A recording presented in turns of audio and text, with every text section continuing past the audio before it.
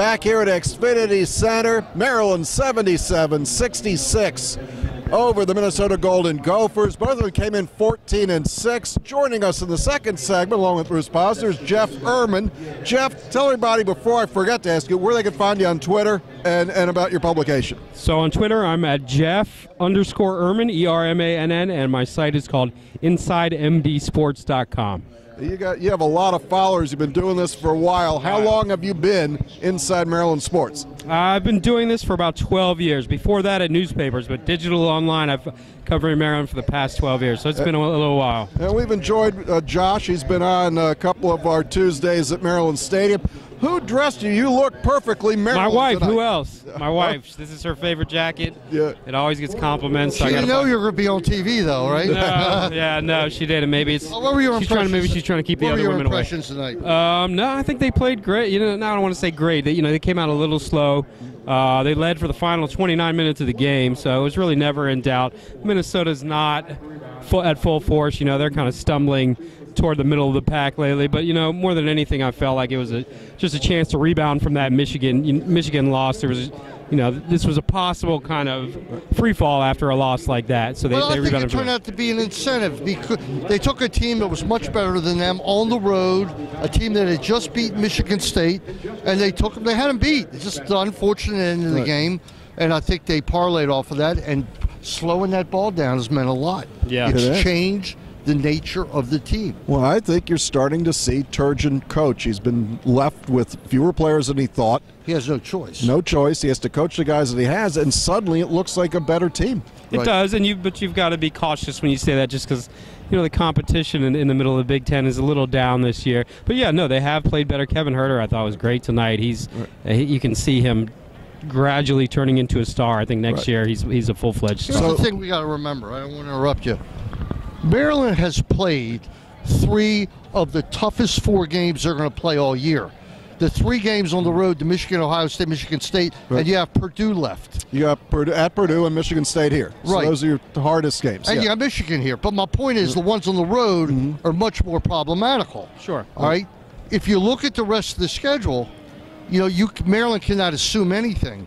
But I'll tell you, they'll be favored against Rutgers at home. They'll be favored against uh, who else we got at home? They'll be favored against Michigan at home. Won't be favored against Michigan State.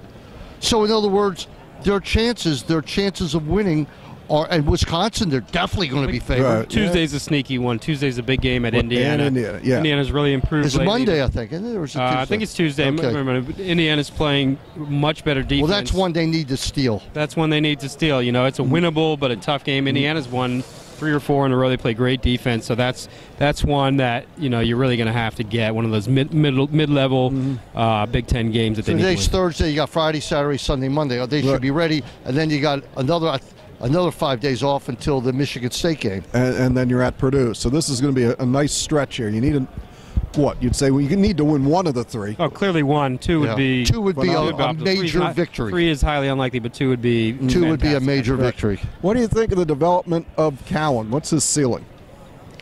Oh, I mean, I think he's he's getting to be just just about as good as Melo Trimble was. You know, you don't see the inconsistency that Trimble had. You don't see those four for 18 nights that we saw with Mel. He doesn't have that same kind of high-end scoring ability quite. Although he's starting he's starting to show that even. You know, he, He. I think he had uh, 17, 10, and six tonight. You know, so that's that's So- impressive. uh, yeah, and the 10 assists are the most since Melo had 10 uh, three, two or three years ago. So that, that's a good number. Hell of a floor game. I, I didn't see for sure, but I think he only had three or four turnovers.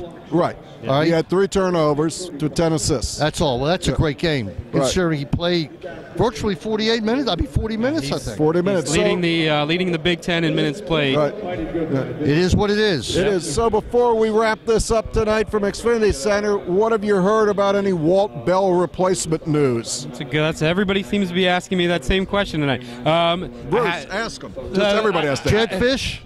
Uh, I think that would be huge. I don't see that one happening. I, don't know see Durkin it. loved him the first time around and wanted to hire him. Um, you know, I, I don't have a name for you. I do know that Durkin, uh, from what I'm hearing, has a guy already lined up, and it, it's not going to be long. So I don't think it's going to be a drawn-out search where you're going from one guy to the next. I think it's going to wrap up soon. Uh, same style or different style? I, I would think the same style. I don't think you can win at Maryland with a smash mouth you know, you got to take advantage of the athletes here. You're not going to beat Michigan mm-hmm. or Wisconsin at their own game. So I, I would guess same style. All right. Well, Jeff, I thank you for coming on. Yeah, Thank tell you. everybody where they about your site. and yeah, inside can InsideMDSports.com. We're part of the 24/7 Sports Network. So if you'd like to follow Terps and, and Maryland recruiting, check us out. All right. Thanks for being on. Thanks for having me. This has been the Viner Four Gates Post Game Show, Bruce. Also brought to you by Meyer Consulting. Meyer all right, Consulting for years and years. of Rockville, and uh, we're going to leave you with the Maryland, you can say, it, National Championship lacrosse, Lacrosse team. team. What a great night!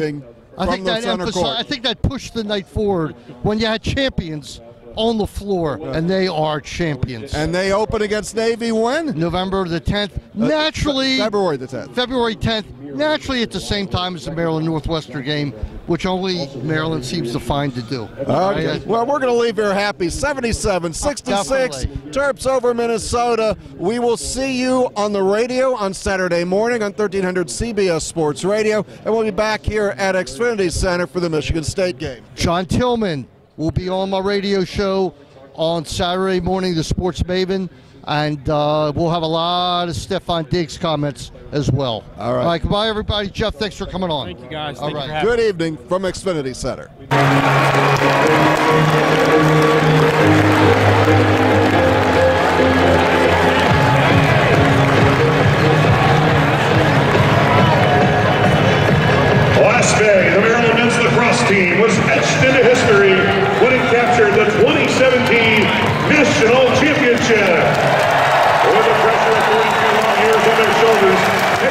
John Tillman's Terrapins stood through the NCAA tournament with a desire that was unmatched. The Terp season begins February 10th and features seven exciting home games.